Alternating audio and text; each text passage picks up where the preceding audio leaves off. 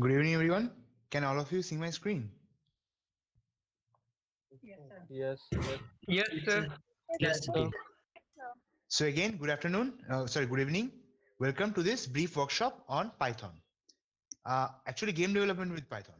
And my goal today is to make you all understand how uh, how game development works. What are the various jobs that you can take in game development? And if you want to go, uh, if you want to be a part of this industry, what are the steps that you can take and how to become a game developer and what are the technologies that you will need to learn to become a game developer. So before I go into game development, I think that everyone here should know a little bit about programming. For those who do not, uh, let me give you a very brief introduction. So what is programming? Programming is how you get computers to solve your problems. Computer programs are what make computers work. It's software on your computer that runs your operating system, browser, email, games, movie player, just about everything. Programming is a creative task. With the right set of skills and experience, a programmer can craft software to solve an unlimited number of problems. From telling you when your next train will arrive to playing your favorite music, the possibilities are constrained only by your imagination. Just like we humans can understand a few languages, like English, Spanish, French, etc., so is the case with computers. Computers understand instructions that are written in a specific syntactic form called a programming language. When beginning your coding journey, you may find yourself asking, what exactly is a programming language? Now, programming languages are the tools we use to write instructions for computers to follow. Computers think in binary, strings of ones and zeros. Programming languages allow us to translate the ones and zeros into something that humans can understand and write. Now you you may have you may have also learned or known about low-level languages and high-level languages. Now low-level languages are closer to machine code or binary, therefore they're more difficult for humans to read, although they're still easier to understand than ones and zeros.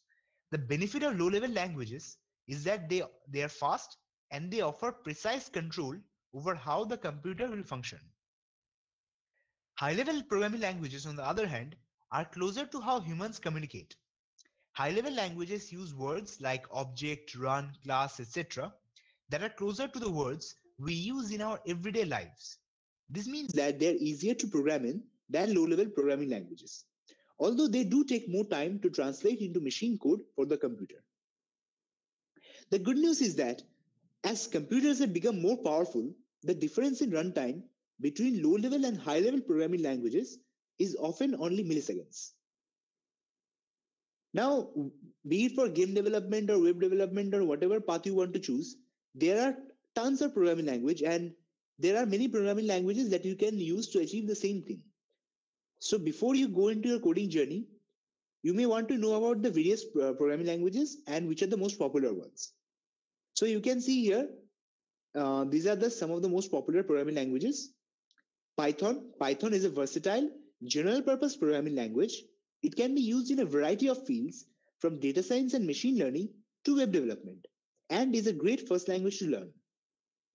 Java is another language that's great when you're starting out. Java can be used for many things, including mobile applications, software development, and large systems development. JavaScript is a front-end and back-end friendly language that enables web applications, game development, and mobile applications.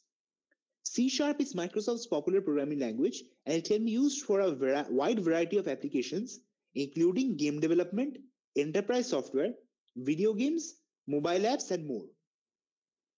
C++ is one of the most popular programming languages, and it is used in a wide range of industries, including VR, software, game development, robotics, and scientific computing. PHP is a widely used server-side language. It's great. Cho- it's a great choice when you're starting out. Uh, sorry, if you're interested in building a building a dynamic web applications, and it works well with databases and HTML. However, PHP has been decreasing in popularity recently. Now, R is a statistical programming language that's popular among data scientists. Uh, if you want to go into game development, you you will not need to know about R. It's mainly used for answering questions with data analysis and creating data visualizations. Swift is Apple's programming language and is a must if you plan to develop applications for iOS and macOS.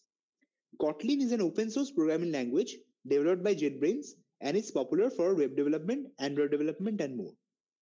So basically, with, with the presence of so many languages, you may be confused as to which language you need to learn.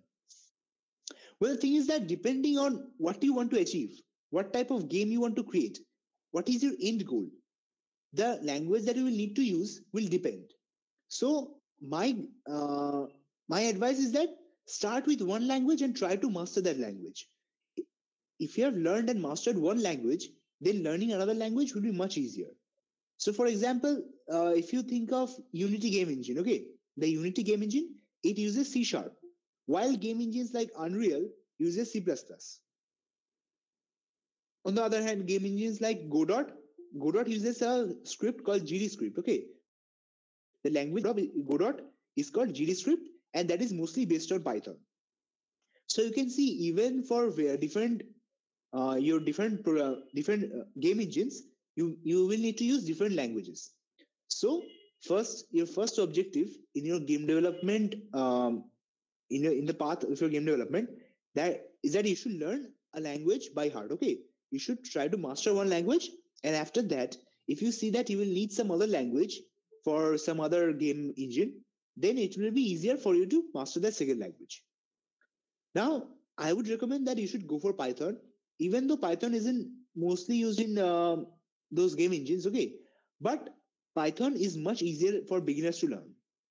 However, if you already know something like C Sharp or maybe if you have mastered in C++, then you may not need to learn Python. However, if you are beginner in coding or beginner in game development, then uh, learning Python will be much easier for you. Uh, you can use libraries in Python to create 2D and 3D games. Uh, creating large scale games using just Python by itself can be a bit difficult, uh, but you can use uh, things like Godot or some other engine to create large scale games. And again, JavaScript. You can use JavaScript to make uh, browser games. If you, you, can use JavaScript for browser games, and uh, other languages like C Sharp and C++ can be used in various game, game engines. Now let's discuss about Python. With so many options, you might be you might wonder if you're making the right choice by starting your programming career with Python. Python is a high-level general-purpose programming language. Python's design philosophy emphasizes code readability. Its language constructs an object-oriented approach aimed to help programmers uh, create, uh, write uh, clear logical code for small and large-scale projects. Now let's discuss some of the other advantages of Python. Python is a beginner-friendly language. Many of the syntax elements and other concepts are similar for all programming languages. So starting with a language that is friendly to beginners is a great first step. Later you can add more languages. Uh, later you can learn more programming languages and then you will only have to focus on those parts that differ from Python. Another reason to learn Python is a strong demand there's a strong demand for Python skills in a wide range of industries. So what is uh, what is the main use of Python? Now nowadays Python is mostly used for AI and uh, data science. So for making AI, AI has become a very integral part of our lives. Almost every apps and every games and everything you see in your life has been affected by AI at some point. Okay, even for uh, simple objects that you see in your daily lives, even for those things, maybe while they were being uh, made in factories, those factories were, um, I don't know, they were uh, they used AI to optimize their processes. Okay, so nowadays in every part of life, in every industries, in every, in every industry, AI has become a very important thing. So that and for that particular reason, there is a strong demand for Python in every industry. And later on, I will tell you that even in uh, then you will see that even in case of game engines where you do not use Python, you may need to use Python to make AIs for various purposes. Okay, because most games nowadays have some form of AI to uh, maybe as NPCs or maybe to optimize something. But however, AIs have become very important. So even in even in games where you when where you are using languages like C sharp or C++, even in those cases you may have to use Python to create the AIs. Now, great support and large community. Python is very well supported. If you run into a problem, there are many communities of experienced developers who are willing to help you solve the problem. Python doesn't take long to learn. Industry professionals say that Python basics can be learned in a few weeks if you have previous experience with coding languages. Versatile. Python's versatility means that as a developer, you will have an incredibly wide range of work options. Whether you want to go work for a tech giant, build your own smaller scale software programs, or work as a full stack web developer, Python programming skill, Python programming is a skill that makes any of these options possible. Extensive libraries and frameworks. Similar to languages like JavaScript, there is no shortage of libraries and frameworks for Python.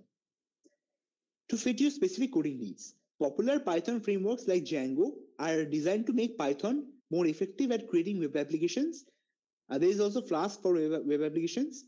And uh, there are libraries like PyQt and tkinter that allow you to make GUIs. And there are also libraries like Pygame and Cocos 2D and Panda 3D that allows you to make 2D and 3D games. So you can see there are many advantages if you learn Python. And even if you don't aim to use Python as your programming uh, coding language for your uh, for the game engine that you want to use, learning Python is a great first step. Now, compiler versus interpreter. Before you move on, let's discuss in very brief about compilers and interpreters. You may you must have heard that Python is an interpreted programming language. So, what is the difference between a compiler and an interpreter?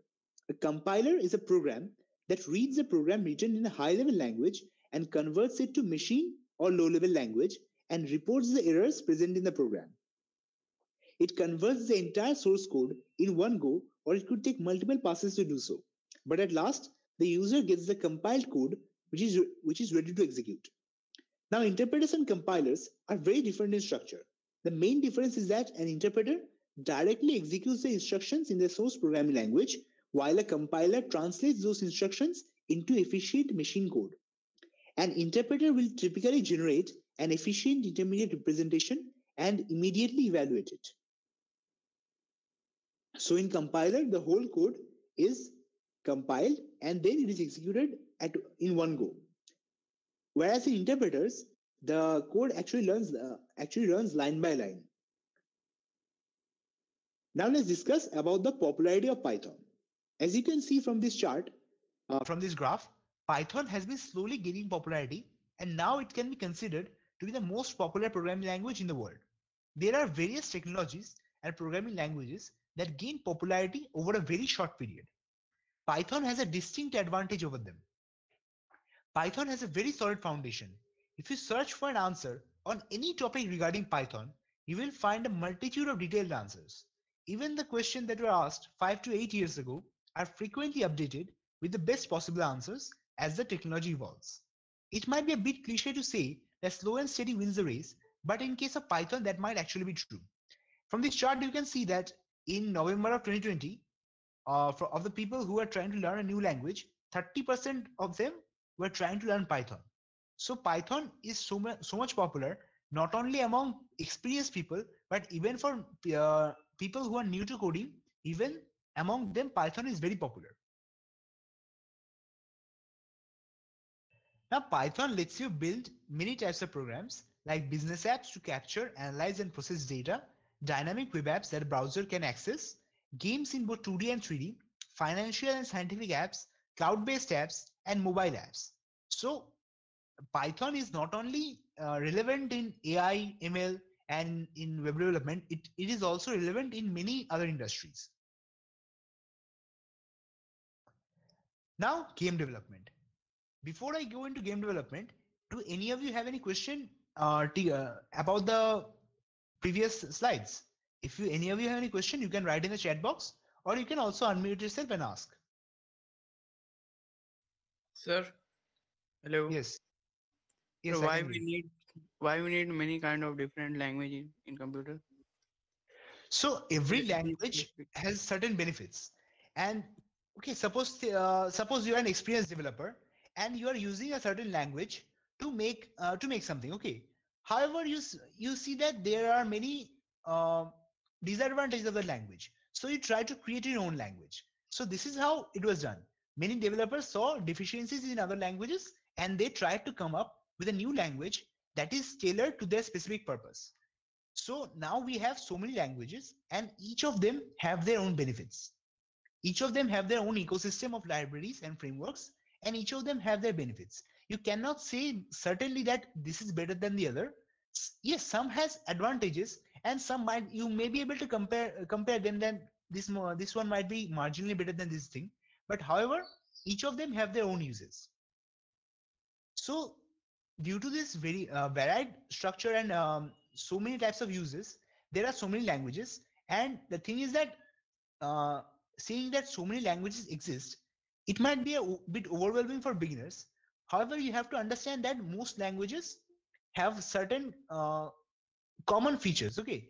If you learn one language suppose you take one month to learn your first language properly.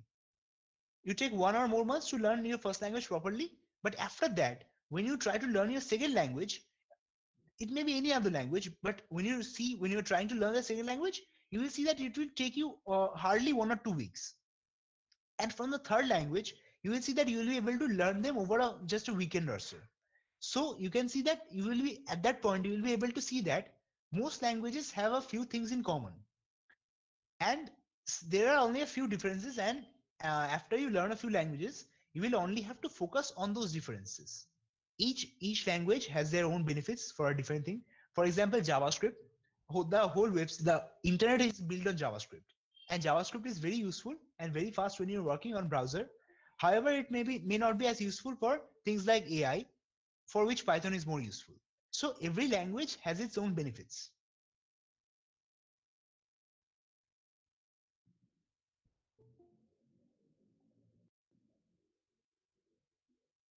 Well, compilers are faster when you're when you're running the code.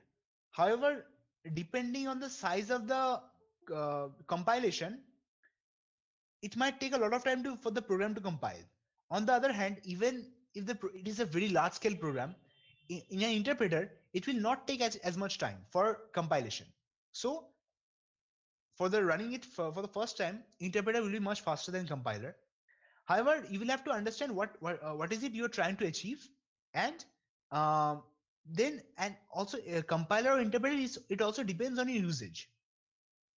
So again, it is I cannot directly compare which is more efficient compiler or interpreter. Maybe um, 10 or 20 years ago, I would I might have said that um, compiler is much much better because after compilation you can run it instantly. However, nowadays um, due to uh, the so much so much resources okay uh, hard disks are more cheap ram is more cheap and processing power is more processors are more cheap so nowadays in, even in, in case of interpreters the programs run pretty fast. So you cannot directly compare them.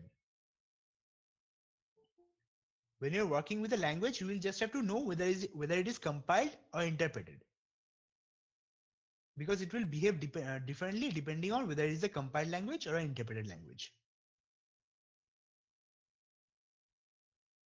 Is there any other question?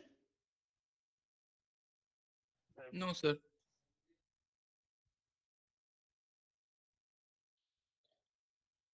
In which we can do programming more correctly.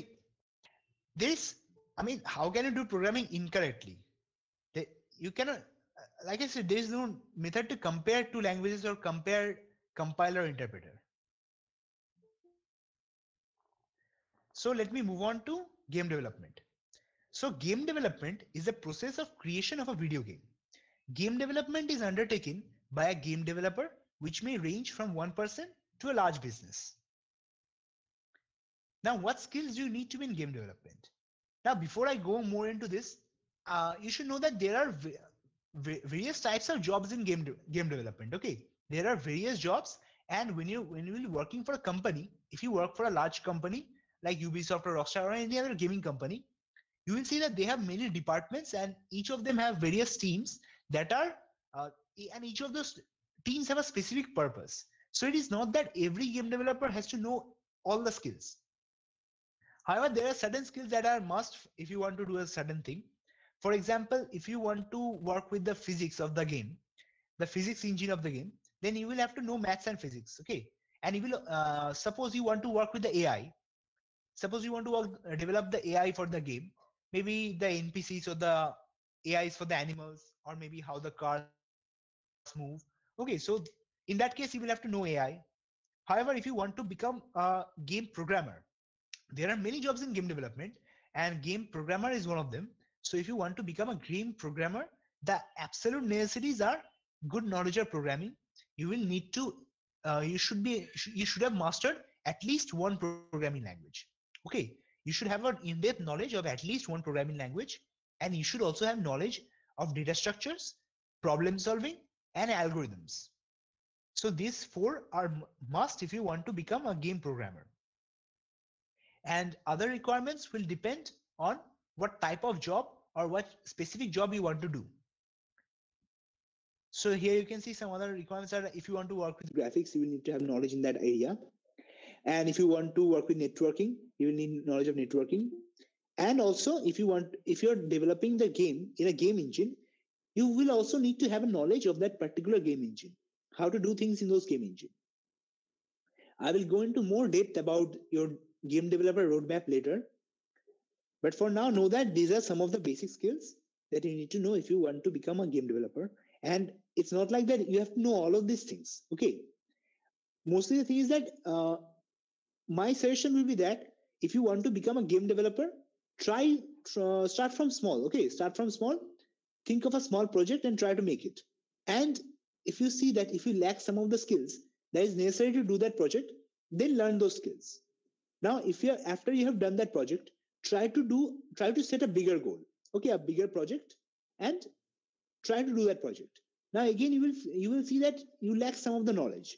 So then go and try to gain that knowledge. So do not try to study first and gain all the knowledge first, and then make a project. Rather, try to uh, start a project and then see what are the technologies that you will need to master to complete that project.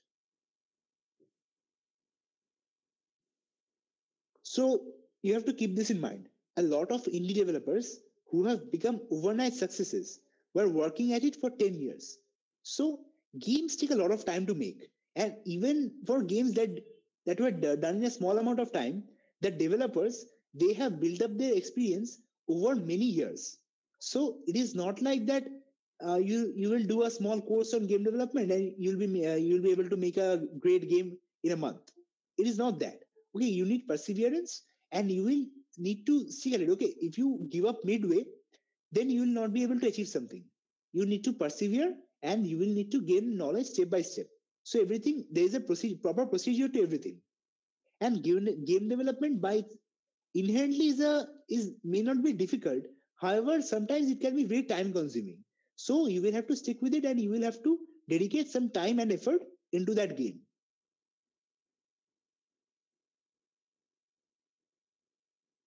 So there are various different types of jobs in game development. So let me answer some of the questions. When we write code, we need software like CodeBlocks or Visual Studio. Why can't we write run them from there? No, it's not that you always need software like CodeBlocks or Visual Studio. You can write, write them in Notepad and then you can use your terminal, means your command prompt to run them. You can do that. However, the thing you have to know is that uh, they give you certain benefits, right? These things like these IDEs, what you call IDEs, your uh, Visual Studio or PyCharm or IntelliJ or whatever, all those things they give you certain benefits. They give you code uh, code completion. When you're writing um, 10 lines of code, it doesn't make a difference if you are writing them all by yourself. However, when you are writing thousands and thousands of lines of code, in that case, code completion is a very important thing. You will have long, uh, the variable, the names of variables will be very long. So at that point, uh, that IDE, that integrated development environment, will allow you to write code much faster, and your speed of writing, uh, speed of coding, will become two to three times. So that is a benefit. It's not like that you cannot write them in a notepad and then run them. You can do that. However, it will be very inefficient. So uh, just like you can use a calculator, right? If all of our cell phones have calculator. But does that mean that you cannot calculate them manually? No, it doesn't mean that. You can calculate them manually. When you're trying to figure out log, you can just look at a look at a log table and try to do, do all those things. You can do that. However, if you have a calculator, then why do you need to do that? So since these IDEs give you all these sorts of benefits, you should uh, take those benefits.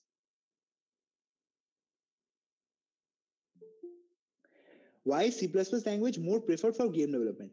Well, I, I will not say that it is more preferred for game development. Again, I will say that it depends on what game engine you're trying to use. If you are using game uh, that Unreal Engine, then Unreal Engine, since it uses C++, then you will have to use C++. If you use Unity engine, then you will have to use C Sharp. So depending on what game engine you're trying to use,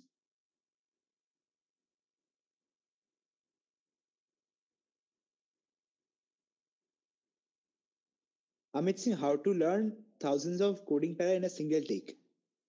Uh, I didn't properly understand your question. You During writing codes in certain notepad or code blocks, you have to learn the character in the line. What? Can you repeat? Uh, your voice got distorted a little bit. When you're going to write the uh, coding para, we have told earlier that for para we have to write during coding. How we can remember that para? What you, you will not remember? You will not need to remember anything. You are writing the code yourself. It's not like you are memorizing someone else's game and you're trying to make that right. You're, you're writing it by yourself, and all those things, the indentation and those things, uh, those things will be maintained by the your uh, IDE itself. So when you're working with thousands of lines of code, you will not write in notepad.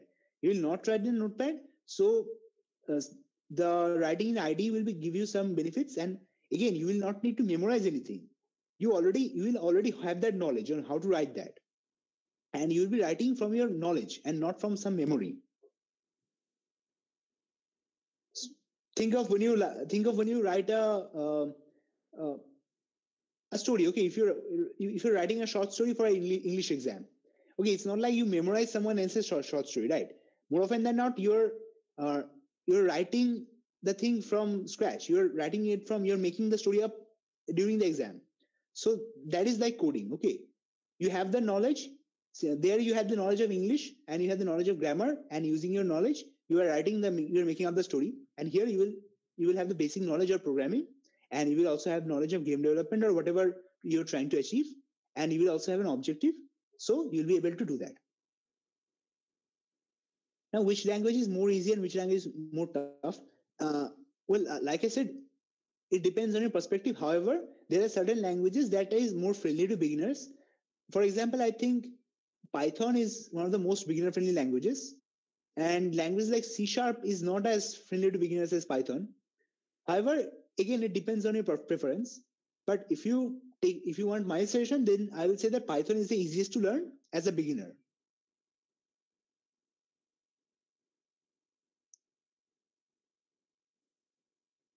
If you have any other question, you can write in the chat box. I will see it occasionally. And if I miss any question, you can please ask me. So let's go back to the game development team. Now, there are many more types of jobs in game development. These are some of the broad categories of jobs that you will find in a game development team. So, artist. What is an artist? An, a game artist is a visual artist who creates video game art. Artist job may be 2D or 3D oriented. So, think of all the build. Uh, if if you are playing an open world game, so someone had to create the uh, models for all the characters, the models for all the cars and all the buildings, and also all of their textures and uh, how they will look visually. So that is part of the artist. Uh, the artist job may also be to do all the promotional materials and all the um, various artworks and posters and all those things. And think in a game, in a large scale game, in an open world game like uh, your GTA or some other game, Assassin's Creed or Cyberpunk even. So in that case, a lot of art resources are required. There are a lot of buildings and a lot of unique uh, textures. And for that, uh, the job requirement for an artist is very high. Uh, but uh, by that, I mean that many artists are required to create a single game. And often you will find that in a development team, maybe more than half of them are artists.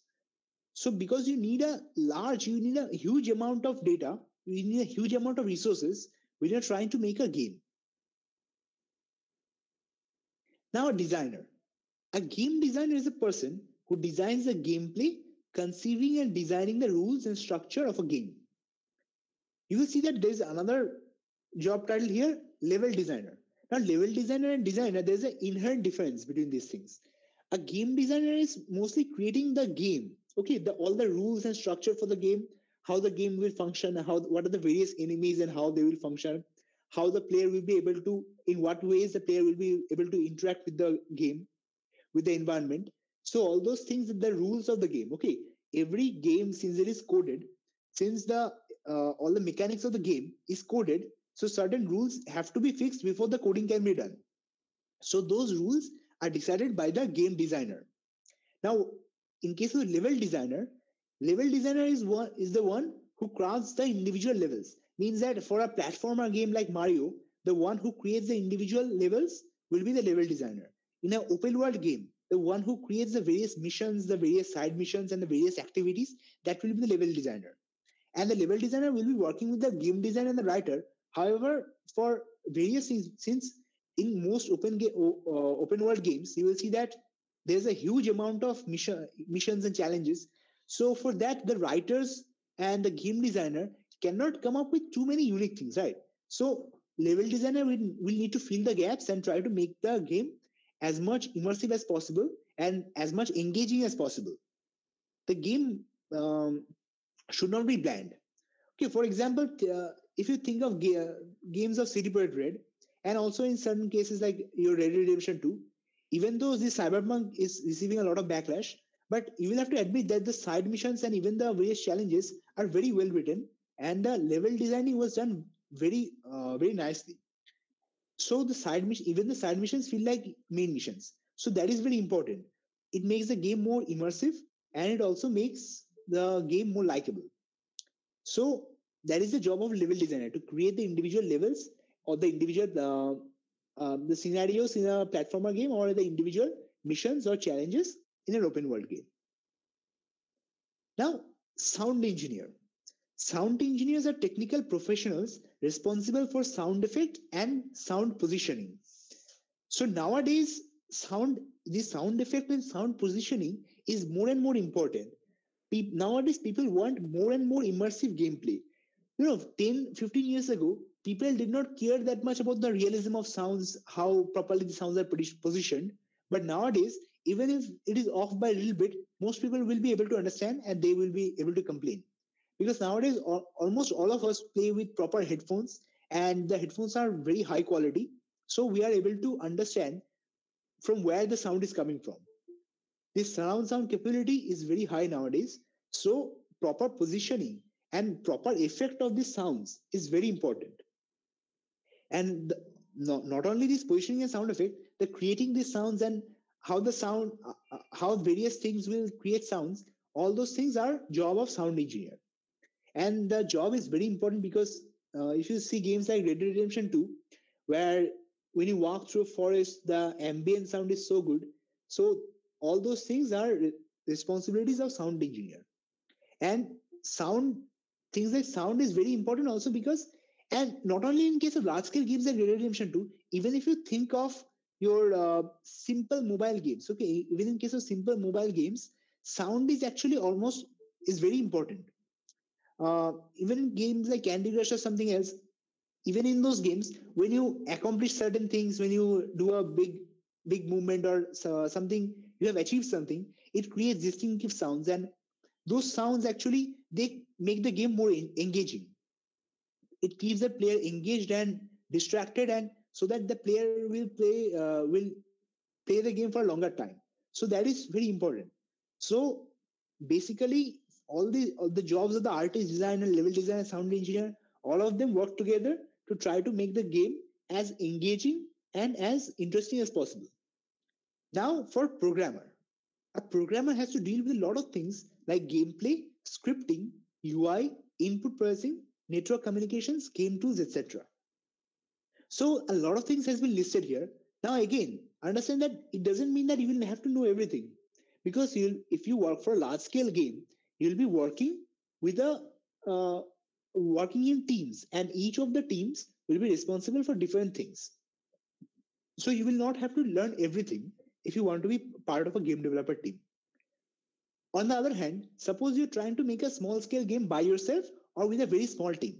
In that case, the amount of knowledge you will need for each of these things is very minimal. So if you are working for large scale game development team, then you will have to know a lot about a single topic. On the other hand, if you are if you're working uh, by yourself or you're trying to make a very small scale game, you might have to you might need to know a lot of topics. But in that case, you will only have to you will need to have a lesser knowledge of each of those topics. So game development isn't that difficult, but the only requirement is that you will have to be dedicated. So even if you're trying to create a small scale game, it it will take you anywhere from few months to few years. So you will have to become you will have to be dedicated and you, you will have to keep on doing it. So and in every phase of the game, in every phase of development, you might have to learn more things. And um, when you keep on doing projects, when you uh, keep on working, um, you know, in time you will learn more and more skills and you will become a better and better game developer. So it's not like that you will have to learn everything before becoming a game developer. It's not like that. You will have to start on a project and then learn things as they come. Now, game tester. The work of a game tester is very important. You know, when I was a child, I used to think that the uh, work of a, the game tester job was a very great, it was a great job. You know, you, you get paid to play games However, it's not like that. A game tester actually needs to have a lot of knowledge of various things. And later on, I will show you the roadmap for game tester as well. And then you will be able to understand that th- those things. But for now, uh, just know that even for game testing, you will need to have a lot of in-depth knowledge about how games work, about how the individual game engine is working, and how the game will perform on various platforms.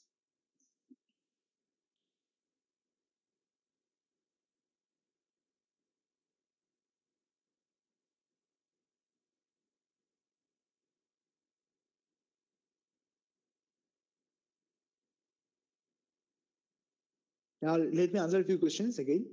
Now, for 3D game building, which language is more beneficial? So, the thing is that uh, I told you earlier that it depends on what game engine you're trying to use. If you want to use Unity, you will have to learn C Sharp. If you want to use your uh, Unreal, you will have to learn C++. If you want to use your Godot engine, you will have to learn GDScript, which is basically Python. I will go into more details about game engines later. If any beginner in Python first, then develop compilers the servers.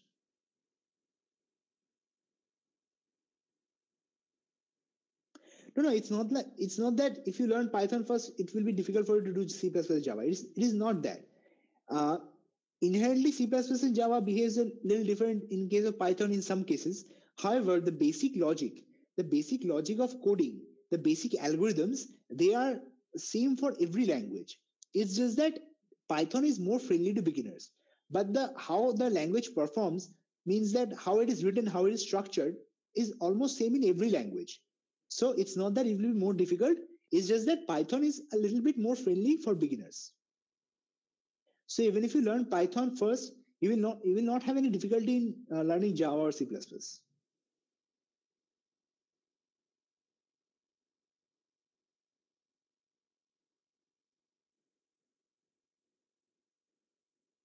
How can we develop games from beginner level to business level like business companies such as Gameloft, Tencent, and etc.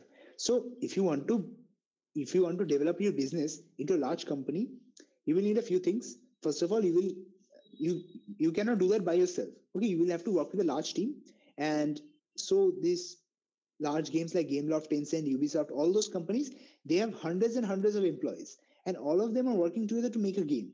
So uh, you will have to build up your company step by step. And actually whether whether or not you will be able to create a company doesn't actually depend on your skills as in game development. It depends on your business skills.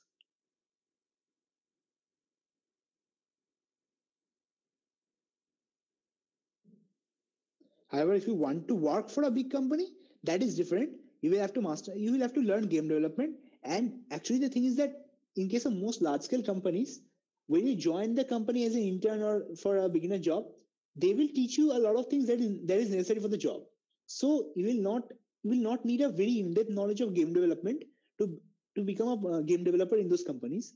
What you will need is uh, you will need to have a proper knowledge of programming. Okay, you will need to have a proper knowledge of data structures. You will need to have proper knowledge of algorithms and problem solving in general. And also, like I said earlier, you will need to master at least one programming language.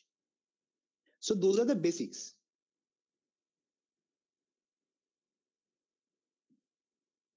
So can I create a small app with the basic knowledge of C, Java and C++? Uh, actually, it depends on what, what you mean by a small app. If you want to make a very simple, uh, simple app, so you can do that with Java. Like, so if you want to make an Android app, a simple Android app, you can do that with Java. If you want to make a 2D or 3D game, then making a game it is it is much easier if you work with game engines. So game engines actually do a lot of work for you and uh, they do a lot of background work so that will make your make your life much easier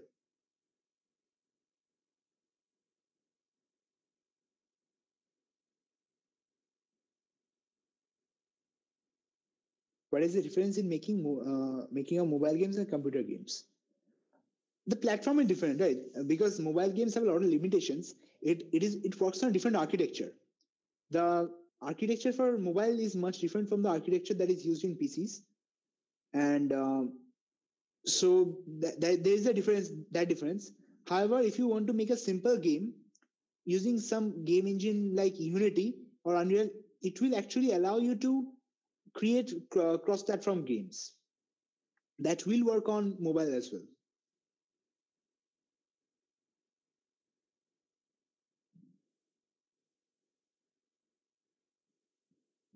Why the base games contains too much space. Actually like i told you uh, earlier i told you that you need a lot of artists for games right? So you will find that in case of games where it takes a huge amount of space you'll see that much of the space is due to your uh,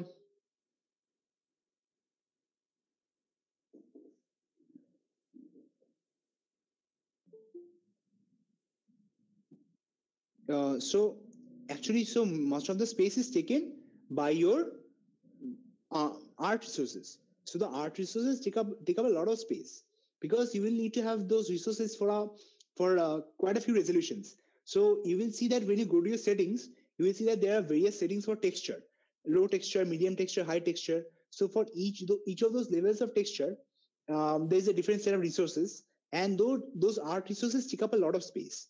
And you see with every every passing year games are becoming more and more vibrant and beautiful and the graphics are becoming better. So that needs more high resolution resources. So for 4k you see that for 4k gaming you will need a, a very large a very large file right? All the art resources will have to be proper so that they can be properly displayed in 4k so those art resources take up a lot of space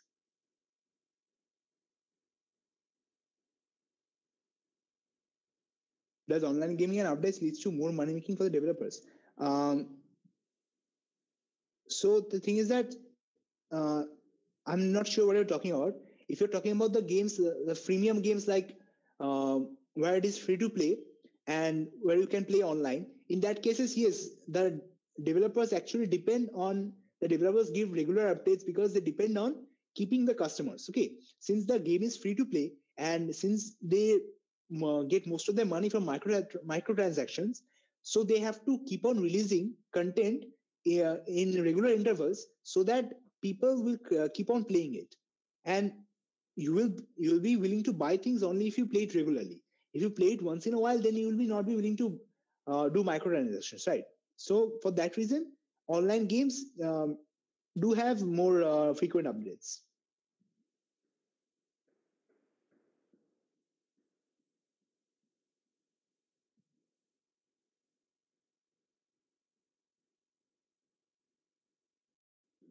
an app which convert image into text. Yeah yes you can use java to create an app like that.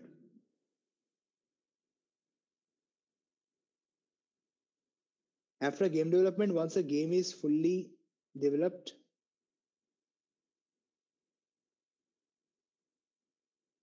do you need okay so both of these questions are pretty similar. After game development once a game is fully developed do you need a proper team to fix loopholes into the game or the game will correct itself the game doesn't correct itself. Okay we don't we don't have that powerful ai by when i say incorporating ai into the games it mostly means like enabling things like uh, ai powered npcs or allowing ais that will drive the car. But it's not like that the ai will fix bugs and glitches. Now, after a game is created and released, we notice a lot of bugs, like in case of Cyberpunk. So that happened because because just greediness. Okay, the investors of Cyberpunk, uh, investors of CD Projekt Red, they just pressured the developers to release the game. The game wasn't finished. I told you that the job of a this game tester, you can see on the screen, the job of a game tester is very important. In case of game, the game tester, uh, the quality assurance is carried out by game testers. A game tester analyzes video games to document software defects. So uh, the company has to work with game testers to make sure that the game is devoid of bu- bugs and glitches. If they don't get this adequate time, then um, it leads to the, the situation that we have right now with Cyberpunk. That is because the developers didn't have enough time to work with the those game testers to fix all those things.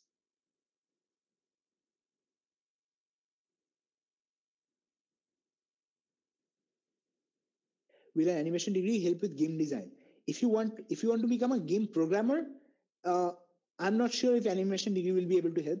However if you want to become an artist yes animation degree might help but since there is that concerns the artwork and not mainly it is not integrally part of programming so i, I i'm really sorry but i cannot help you with that because i am not 100% sure about the uh, art side of things okay? But in general it should help okay which, which uh, platforms can we use as a beginner for making apps for a college project what project uh, so priyanshu what projects did you want to make Yeah. was it the previous one that you that you had said an app to convert image into text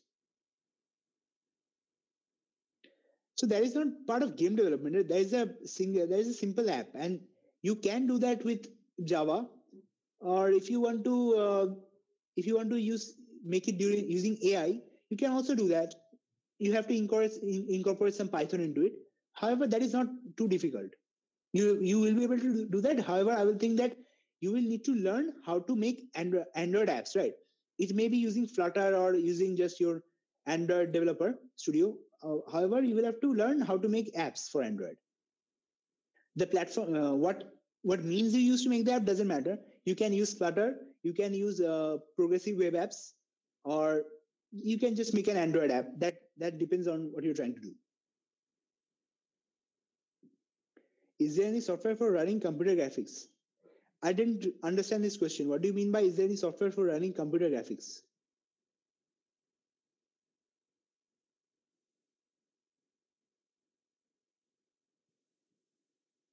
Oh with software you can do graphics design. Uh, depends on what what type of designing you want to do. If you want to make 2d resources there are various various apps are out there that allow you to make 2d resources. If you want to make designs for things like web development that is different again. Uh, there is adobe xd and there are many other applications. So there are various apps depending on what type of graphic designing you want to do. If you want to make ui ux then there is uh, your uh, the, like i said there is adobe xd and the other one that, that the free one that i cannot remember right now. So you can search that online. And for 2d for resources if you want to make it for a game for 3d resources you will have to use some 3d modeling software. There are many ones. I'm not like i'm not too sure about the artist part of thing uh, artist part of game development. However for any type of graphic design you want to do there are many apps out there. Um, some of them are free some of them are not. And nowadays with the increase in your open source software most most of the games are nowadays free more or less. Sorry most of the apps the free apps also work pretty good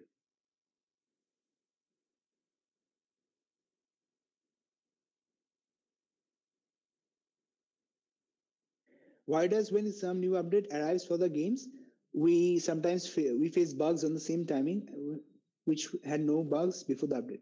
Well, that is because there might be some code, some part of code in the new game, in the new update that clashes with some pre- pre- previous code and makes certain exceptions. So uh, the developers need some time to fix all those things. That happens, you know. The, since it is a independent thing, you cannot you you cannot completely prevent that. VRAM is virtual RAM. RAM is your random access memory, right? But VRAM is actually using your hard disk part of uh, your hard disk to use as a RAM.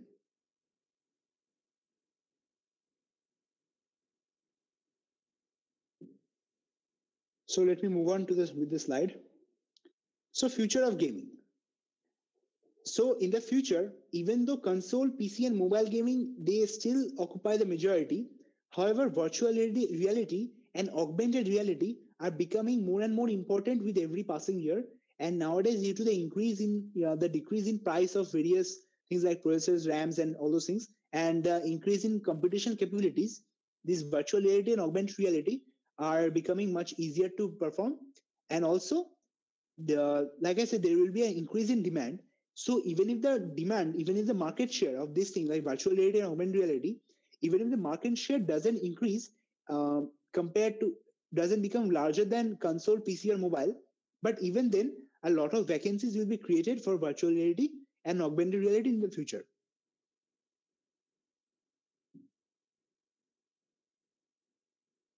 Now, before I go into Python frameworks, let me show you some the market revenue. Okay.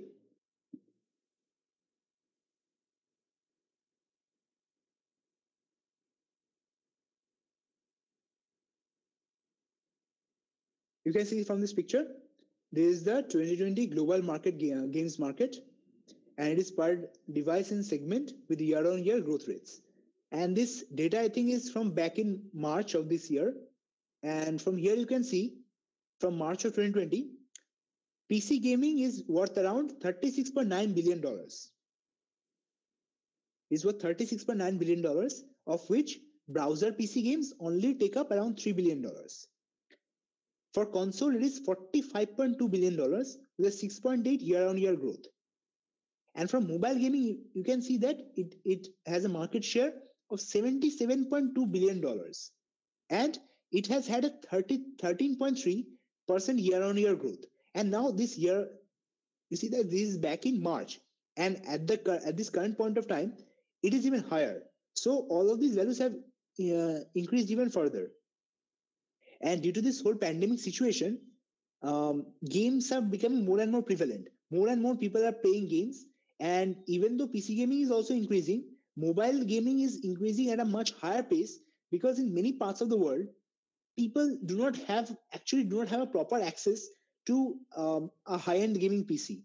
So, and uh, for low-end gaming PCs, playing the latest games isn't uh, isn't that easy, right? So, in the, for that reason, mobiles mobile gaming is becoming much more prevalent and you can see it is gaining much higher growth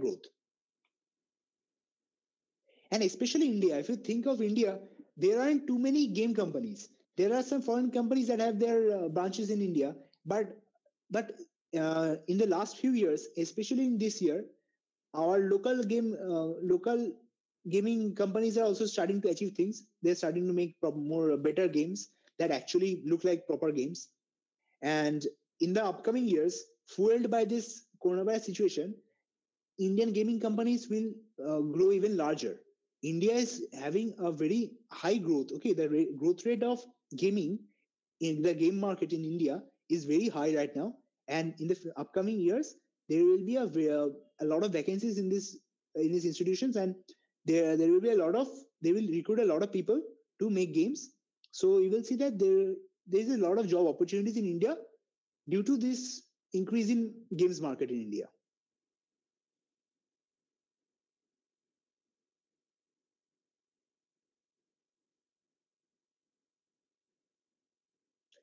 Now, some of you here might have already begun, uh, started your journey in game development.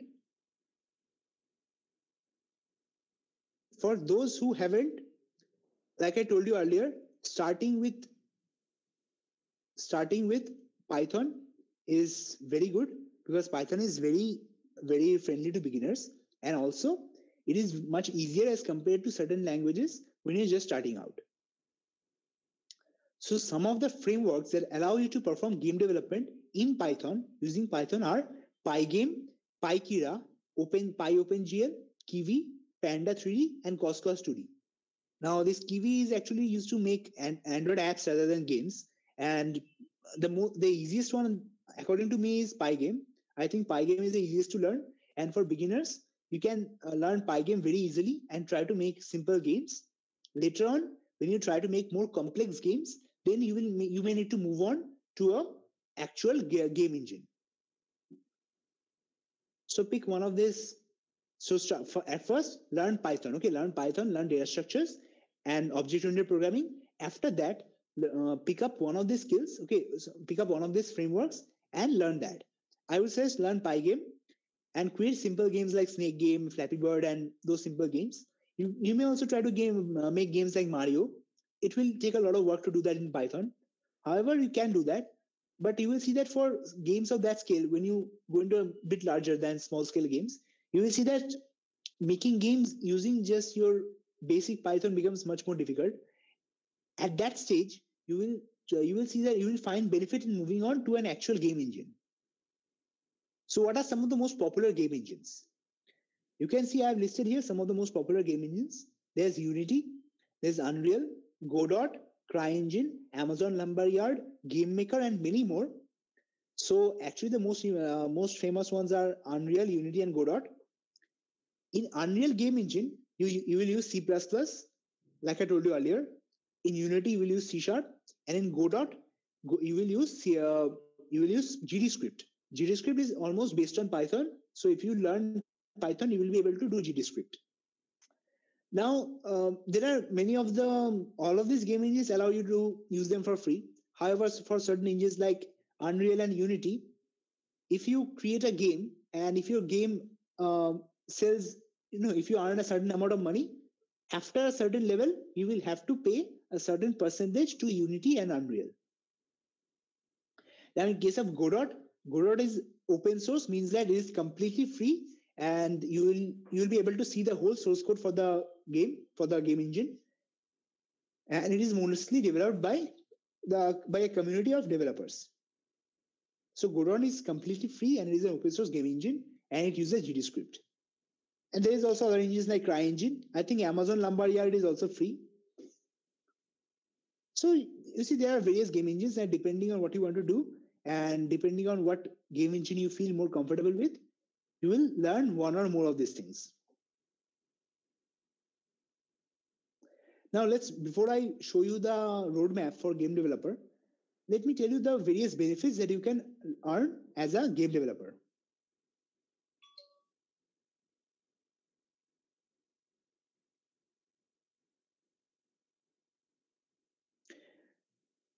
Well, the market share of PC games is lower due to price issues. Think that okay, so uh, think of people who the people who will actually pirate the large scale games uh, aren't actually the uh, those people are less likely to buy console games. And even for people who pirate games sometimes they even they buy games right? So even uh, almost all of us here who have pirated games we also have bought certain games. So yes the piracy causes certain issues in your pc however the PC actually more people, many more people have PCs than consoles. So the market is much larger. And also, if you use, if you create an online game with a freemium model, then the issue of piracy doesn't come in, right? And actually, most games nowadays have a certain online component. Completely offline games are very, uh, very few nowadays. So, um, yes, there is a there is a piracy issue in PC, but it's not something that can be easily fixed.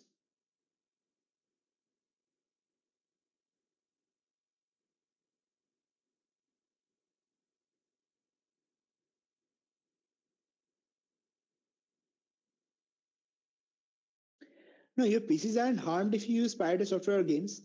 However, the thing is that uh, if you cannot afford it, it's fine if you pirate it. But um, actually hundreds of people uh, wasted a lot of uh, made these games using a lot of effort. So if you actually like a game and if you can afford it, then you should try to buy those things. As for software, I think nowadays, if you don't want to pay, pay for expensive software, it's completely fine. Nowadays, even the open source free softwares are are just as good as the um, premium softwares. So if if you want if you don't want to use say let's say Adobe, okay, Adobe has many softwares that uh, give a lot of benefits. However, there are a lot of also free alternatives. So you can pirate them if you want, but if you don't want to pirate them, then you if you can afford it, you can buy it, or else you can also go for some open source, some uh, free or free alternative. And nowadays, the free alternatives are becoming much better than actually because nowadays I uh, I barely use Microsoft Word. I don't even use it because even in case of uh, high-end PCs, my, uh, using something like Google Doc it is much easier than using Microsoft Word. So I don't even use it nowadays.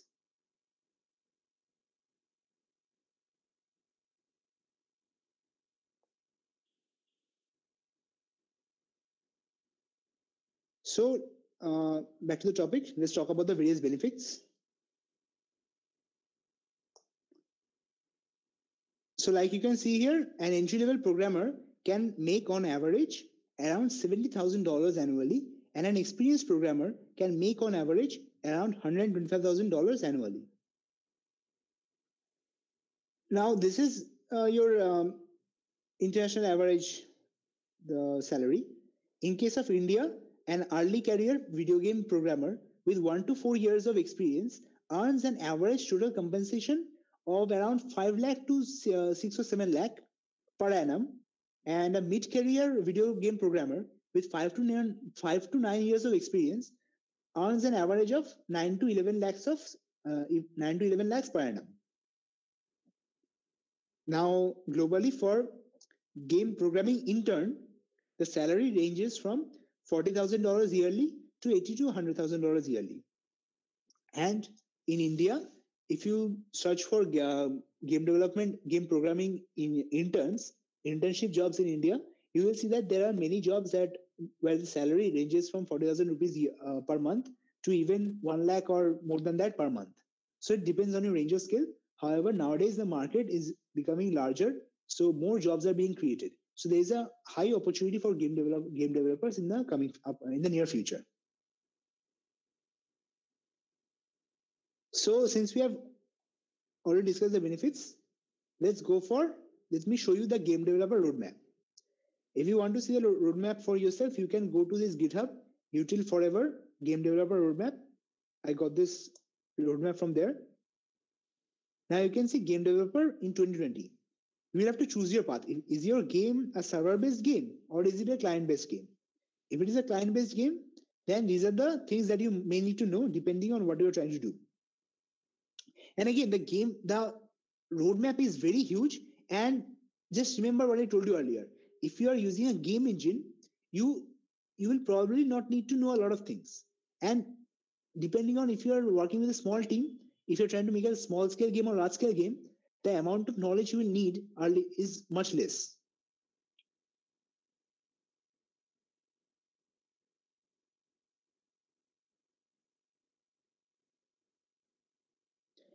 Now, uh, you can see for first, you have to learn the basics.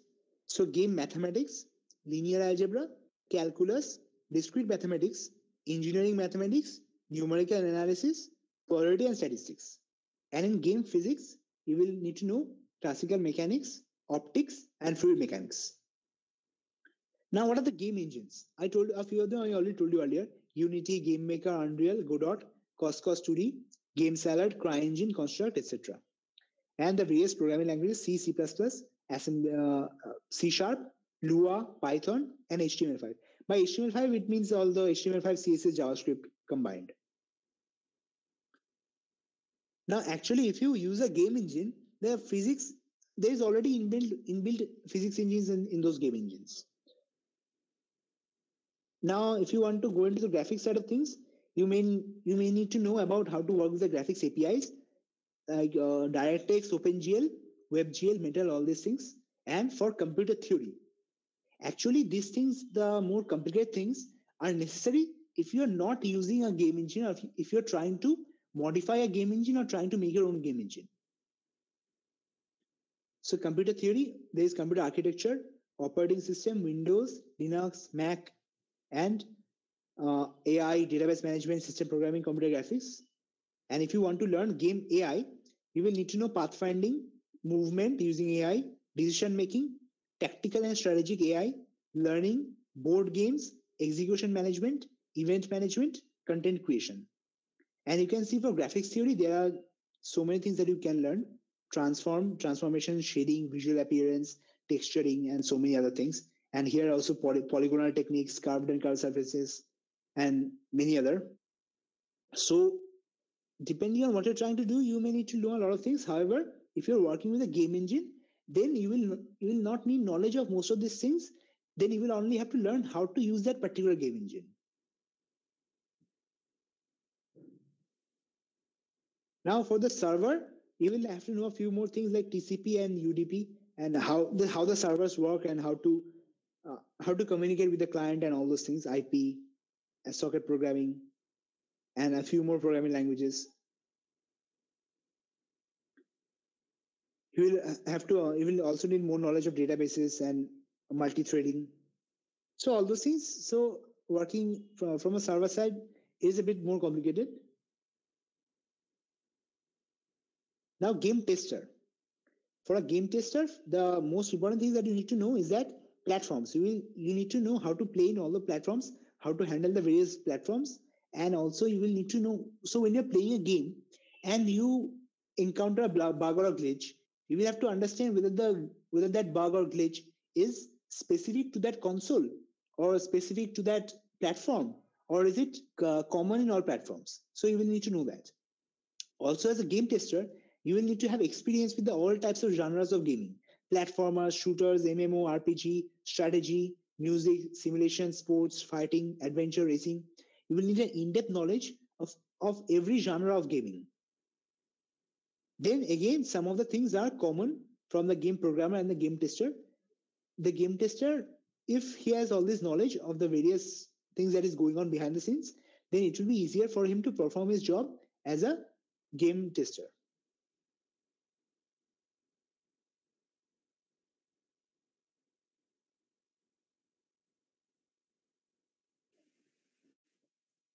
uh, at the end of the workshop, I will show you some examples, especially one example. If you have any other question, you can ask right now. Which has better future, cloud gaming or offline games? Well, actually, cloud gaming doesn't refer to online games because actually cloud gaming refers to what the you know one nvidia x cloud and google stadia they're trying to do Cloud gaming means that the whole game is present in a server and you are playing that game from that server. Now, the problem is that uh, due to limitations of network, sometimes the lag is pretty high. And if you're trying to play an offline game in cloud, that is fine. But if you're trying to play an online game, that is almost impossible unless you have a very, very good internet connection. And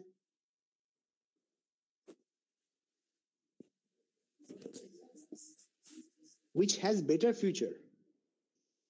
Right now cloud gaming uh, offline gaming means installing your game in a computer it cannot be done away with it. So you will have to do something like nvidia is doing. Because the thing that google why google stadia failed so much is that they assume that people all of everyone will switch to cloud gaming. But that is not the case. Since you are uh, most of many of the gamers they have a pc or console so they want to play the game in they want to have game installed when suppose when the internet connection isn't good or when they're offline. Uh, so just going fully cloud is not is not a good option okay? It is not a good market practice.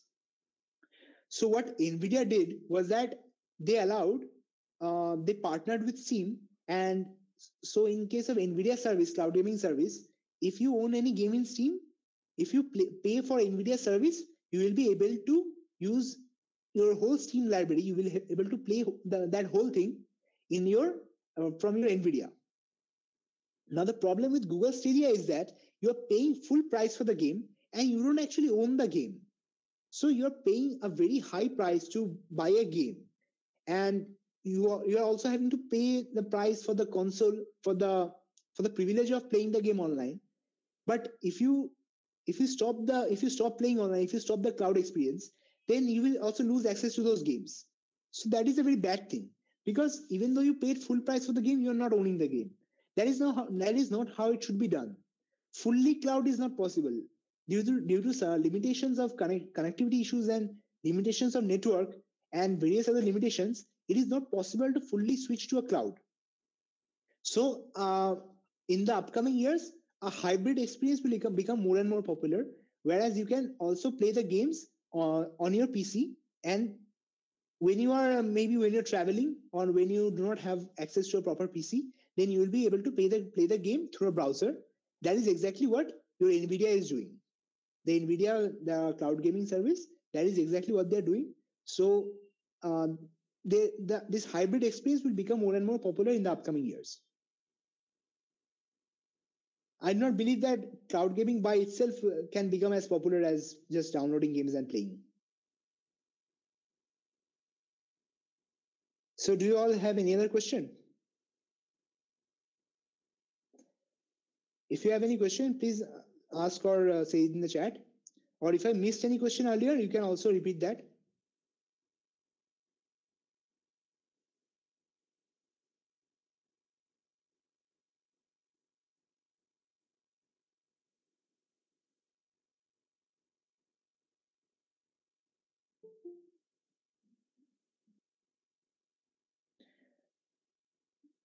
Well, actually depends on what you're trying, what you mean by fully open world. If you mean that every building will, uh, you will be able to enter every building and you will be able to interact with everything, it is not impossible. It is not impossible to make that certain game, but it will take a large amount of effort and they will not get an approximate return.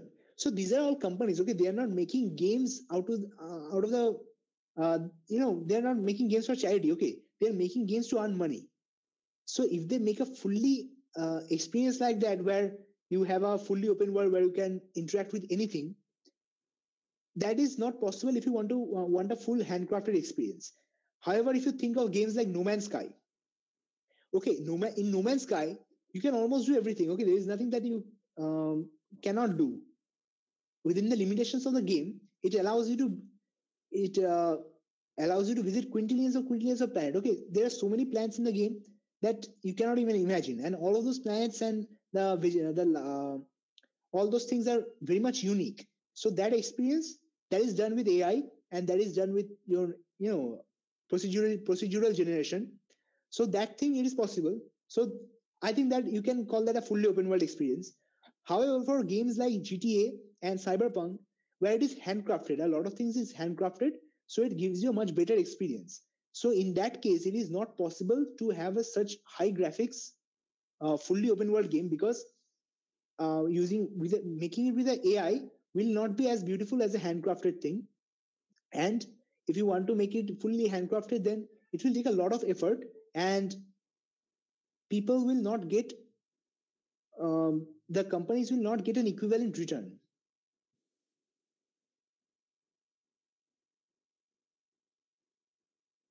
how voice sharing is possible in online gaming with partners. That is just uh, the your data, your voice data is passed to your. It, it, it actually doesn't go through a server. Uh, in most cases, a proper connection is established between you and your teammates in your game, so that your the data doesn't need to pass through a server. If every time the data passes through a server, it takes a lot of time and a lot of processing.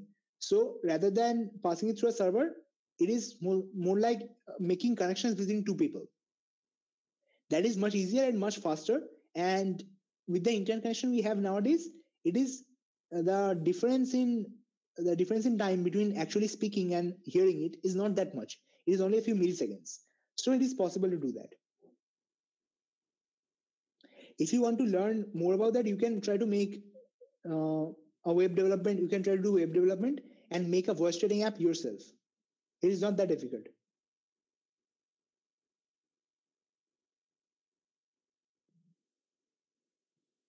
What is the role of Steam? So Steam is a sort of a marketplace that allow that sells you games, and it allows you to have an online library of games, so you can download the game in any plat- any uh, any PC you want.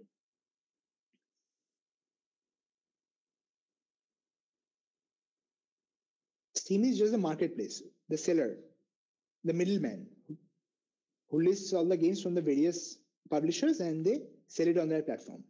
And Steam takes around a 30% revenue from the developers. How does porting a game work? So different platforms have a different architecture. So the uh, basic coding of the game will need to be changed depending on what, what platform it is. For example, if you think of the think of this cyberpunk game the pc version the bugs in pc version are very much different from the bugs in your the, that people are experiencing in ps5 or xbox one. That is because the pc version is a completely separate game. For example in the in, in the latest update the console version was 17 gb update while the pc version was 1.7 gb that is because the pc version is a completely separate game the gameplay is same the story is same the everything is same but the architecture, the way it is coded is completely different. Actually, when you're working with a uh, with a game engine, the game engine will do, do most of the work for you. So a lot of time has passed, uh, according to you, which is more approachable and good, console gaming or PC gaming, and why? The entry into I think PC game is is much easier. If you if you're working for a large company, they will make games for both PC and console. However, if you're trying to make an indie game, you will see that most indie games first launch on PC. That is because more people play, indie games on PC. More people are likely to play indie games on PC. So even even if those games are pirated, that even those pirated versions of the game, they actually give good marketing to those indie games. So by indie games, I mean the independent games that do not belong to any major publisher. So for that reason, if you want to make a simple game, the entry into PC gaming is much easier. Actually, the thing is making mobile games is even easier. The, the barrier of entry into mobile gaming is the lowest. Above that is PC and above that is console. Because when you're making a game for a console, you will have to keep a lot of things in mind because uh, those companies like Sony and Microsoft, they will assess your game with much scrutiny so that the game doesn't break their console. The so your game will have to go through a much higher scrutiny. However, in PC that is not the case. So the entry level into PC is easier, and it is even much easier in case of mobile.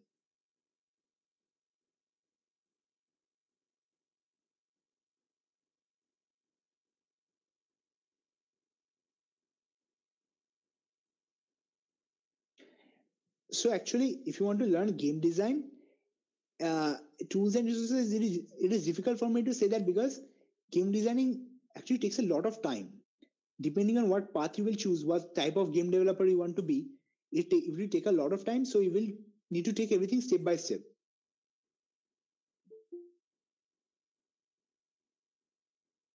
the architecture is different. Uh, the how PC gaming and console gaming are different. The architecture of these things are different. Okay, the hardware, the hardware that is used to make those, the make a console and make a PC, that is different. The hardware is different. The operating system is different. So that is why the um, the the development is different as well.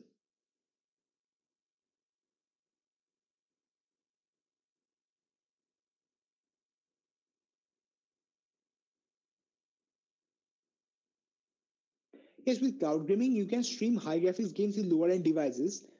However, the thing you have to understand is that nowadays, high end devices are becoming cheaper and cheaper. And also, uh, when you stream games, it actually is very, it is, it is not cheap, right? Because uh, high speed unlimited internet, it also ta- it also takes a lot of money. And for those cloud services, even those services will cost you a lot of money. So suppose you have to pay 600 or 1000 every month for a cloud gaming service. So you are paying at the end of the end of, end of the year, you're paying 10,000 to 12,000 on a uh, on the on the subscription. On the other hand, if you just buy a single game, that is maybe 3,500 or 4,000 in cost. So that there is a difference. So it depends on how much gaming you want to do.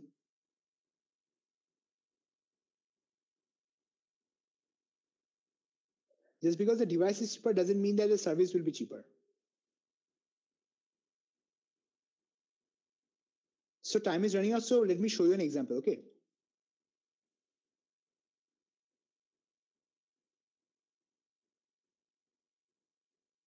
Is it possible in the future with the help of AI to make a game where the user can make their own special moves for the game character? Yes, that is uh, absolutely possible.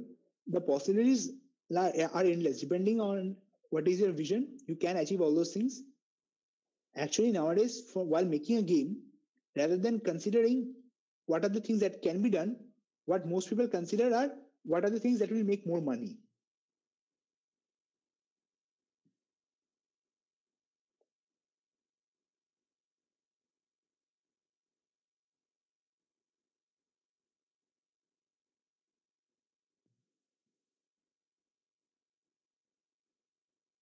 Wait a second, let me share my screen again.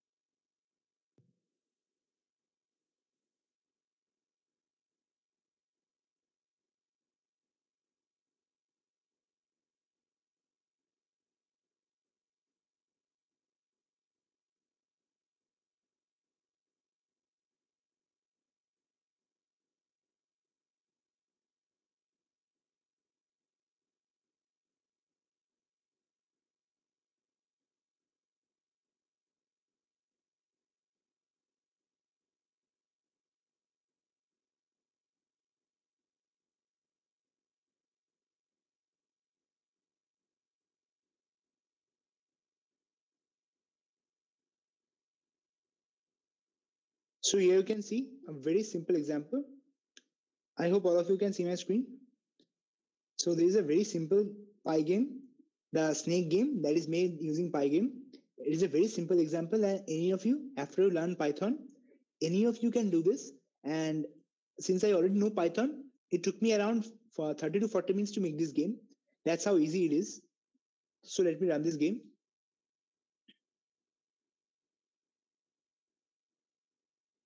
Is a very simple game with bare, bare minimum features. Here we have a snake. Here I divided the screen into 20 by 20 squares. So 20 squares and 20, 20 squares length and 20 squares height. Those the, the snake uh, occupies certain squares and the food occupies squares. And I'm just controlling the snake. And when the snake overlaps the food, one height is one length is added to the snake. It's a very simple program and the whole logic of the game is around uh, 10 to 20 lines. So it is a very simple game. I will give you the source code for the game. And if you learn if you any of you know python or after you learn python you will see that the logic of the game is very simple and any of you can make this game if you learn python. So it is a very simple game. You see here i'm just i, I have used object oriented programming. You don't have to do that. You can also make the game without using a class or these self things. Okay, so first I have initialized the game. Here you can see I have initialized the snake. So I have given the x and y coordinates for the starting blocks of the game.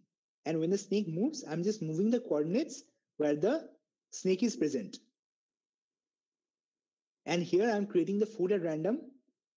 The x and y coordinates of the food is created at random and I check whether the food lies inside the snake. If the food is, uh, is generated on top of the snake, then I change the location of the food to a new random location. Now here I'm playing the game. So with these few lines, I'm checking all the inputs. And if the if the player makes gives the changes the direction, you can see the player can change the direction. W makes the direction zero, A makes it three, S makes it makes it two, and D makes it one. So WD makes it 0, 1, 2, 3. Now here it is a 200 fps game and my snake will move for uh, every 50 fps, for every 50 frames. And here I'm checking if the uh, player has changed the direction. Here I'm changing the direction and now I'm checking if the direction is valid. Here I'm checking the direction is valid because suppose the snake is going up, if the player presses down, the snake from cannot go from up, up to down, right? It has to go to the side and then down. So I check for the valid, uh, the direction is valid. And if the direction is valid, then I uh, move the snake. So here you can see if it is moving up, I'm just removing the bottommost. I'm just adding one, uh, one more block to the top of the snake. And here, if the snake has uh, eaten food, then I'm increasing the length of the snake. So it is a very easy thing. So how is it done? How is it done? Here you can see I'm just drawing the background. So for those who for those of you who do not know Pygame or do not know Python, this might be a bit difficult to understand. But after you learn it, you will see that it is a very easy thing. So here is the box. Okay, this gray box. I'm creating it by making a rectangle I'm making a rectangle that takes up the whole screen. Then I'm making a rectangle for the food. And then I'm making small squares for each of the section of the snake. If the snake has length 4, then I'm drawing 4 squares at 4 individual coordinates. Then I'm just rendering the high score and the score. And if the game is paused, I'm just printing press escape to pause. So it is a very simple game.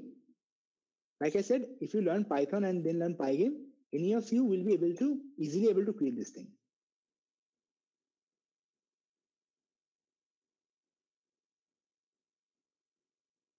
So I'm giving you the link. If any of you want, you can check it out.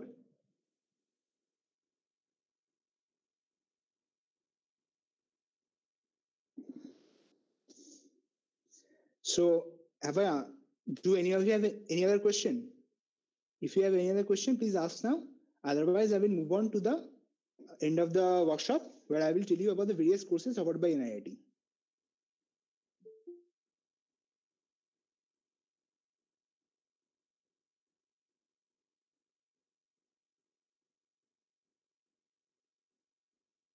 Okay, so I'm not seeing any other question.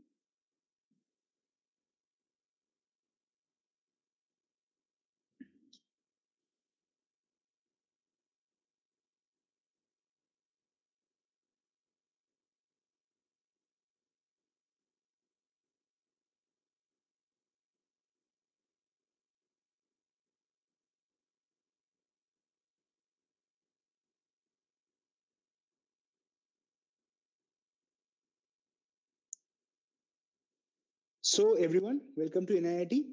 My name is Shomotunu and I hope that all of you like the session. In this situation, it's it's a really tough it's really tough to live a normal life. So let me introduce you to NIIT. Now, NIIT is the full form for NIIT is National Institute for Industrial Training. It is a government body which provides a direct courses from Microsoft, Oracle, and etc. As you know, it's awarded by IETA Indian Teachers in uh, Indian Engineering Teachers Association. It has collaboration with other government bodies to get a job in any IT sector. College college studies are not enough. You need experience. You need to experience the corporate environment from your student days when you uh, so that you'll be hab- habituated with the corporate field. That's that's why students from various colleges like KIT, VIT, SIM uh, do their industrial training is in various companies. So when you do training with NIIT, will uh, it will a, it will be a great opportunity for you to get a go- global achievement with government registered certificates because all the courses are directly from Microsoft, Oracle, etc. And you'll also get another two certificates of membership and project grade, which will be registered from the National IT and Cybersecurity. So you can see here, due to the COVID situation, uh, it is not possible to uh, do classes offline. So NIIT is offering online classes where you will you will get you can see you will uh, you'll be provided direct global certificates from Microsoft Imagine Academy or Oracle Academy, and if you perform well, you will also get internship opportunities. So the training and internship certificates will definitely boost your CV. You will get good quality learning experience and special doubt clearing sessions. The trainers are quite professional and helpful, and they, they start from scratch and lead you to become an intermediate or pro in your preferred language skills. So it doesn't matter if you have any previous experience or not. Everything will be taught from scratch, and the topic that you registered for, even you'll be taught everything that you need to know about that topic. Also, you will get an opportunity to get an MTA certificate, that is Microsoft Technology Associate Certificate. And like I told you earlier, selected students will get a chance of internship after the training. And you will you will be doing some proper industrial training, and these trainings are not on a video basis. Okay, it will be live classes with proper interactions. So it will be more than uh, it will be around 40 hours of classes. So around uh, 20 days of classes. So which covers a lot of topics, and you can see all the topics here: Python with data science, uh, artificial intelligence, machine learning, Java programming, and all those. You'll be receiving the whole PDF later. So guys, our winter training has already started. Few more seats, uh, few more seats are left from your college. If you want to get a global achievement like this, then register yourself now. And all the courses, uh, and there are various languages. Uh, you can see all the courses here, like various languages: Java, Python, C, etc. Android development, web development, IoT, blockchain, ethical hacking, and many more. And also, due to this COVID-19 situation, all of us are, are stuck at home, and so the courses are being offered online. And not only that, in order to enable the students to uh, achieve get these achievements, you will also be provided with a 60% discount. And this 60% discount is only valid to students. Okay. NIIT also gives uh, you know, industrial training. Okay. So for corporate training, it is not applicable. It is only applicable for students. So if you are a student in a college, you can get the you can get to do these courses. You can register for these courses at 60% discount. So this year, if you do the courses now, it will be much much cheaper for you and you will get a much better experience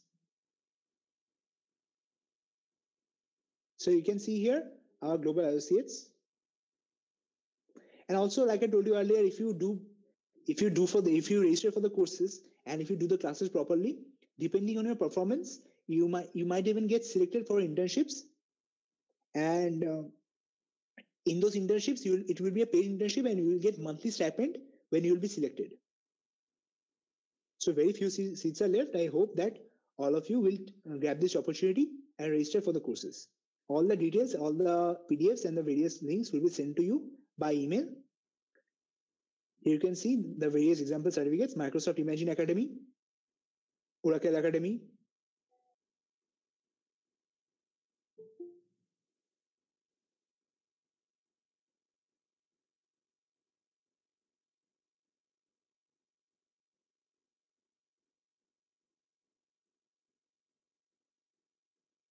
So here, here you can see the certificate for the project.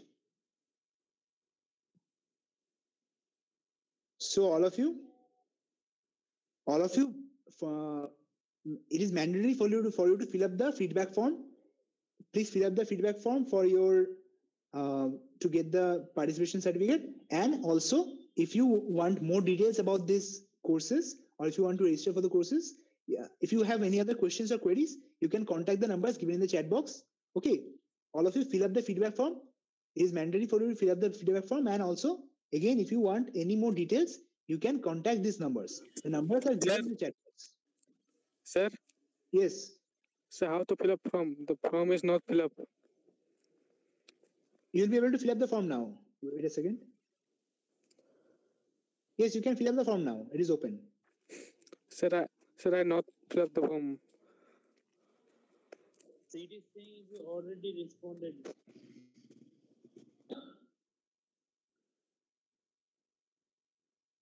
What? Have you already filled up, filled up the form? No, sir.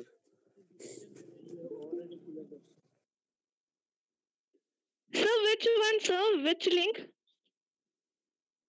Only one. The forms are really. So there is two link given. The previous one is the GitHub link for the project, okay, not the GitHub one, the forms.gle. The second one, the forms.gle.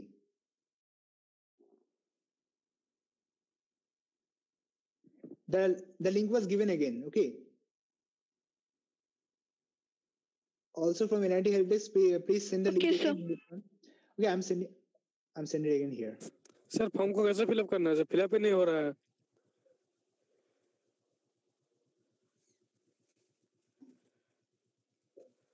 You should be able to fill it up. Sir form open हो गया लेकिन fill up नहीं हो रहा What is it? What is it saying there? Hello, hello, sir. Hello. Okay. Hello everyone, those who have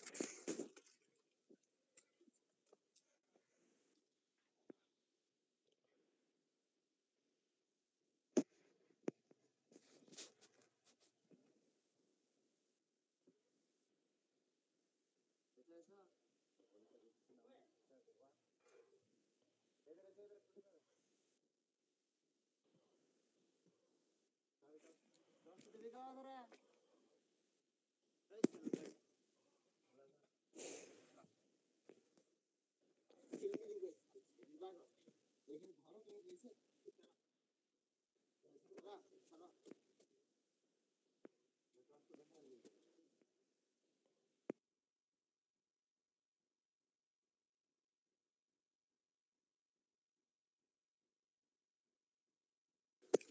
The form has no area for the right name.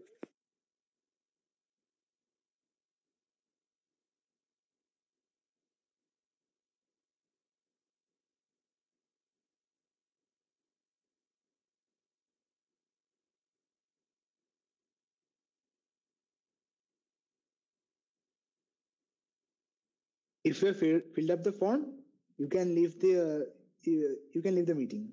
Sir, form has no area to given details. If you are unable to fill up the form, you have to use a different email ID.